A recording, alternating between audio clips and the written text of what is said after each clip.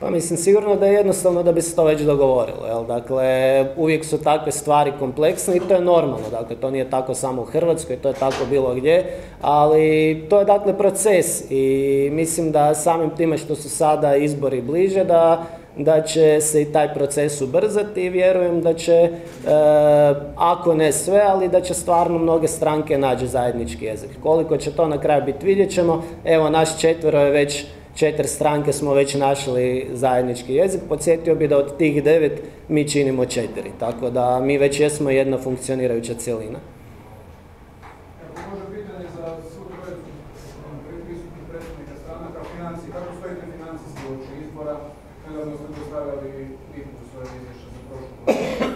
Pa, dakle, što se tiče financija, mi smo za, za izbore spremni. Naravno da nismo u onom rangu HDZ-a, ali e, mislim da građanima ipak nije na prvom mjestu ovaj, tko ima najviše novaca. Neke, neke, u nekim reklamama kaže da se neke stvari ne mogu kupiti novcem. Jel?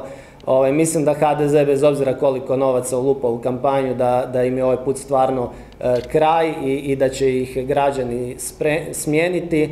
A što se nas ostalih tiče, mi ćemo imati dostatne resurse za, za odraditi ovu kampanju, a evo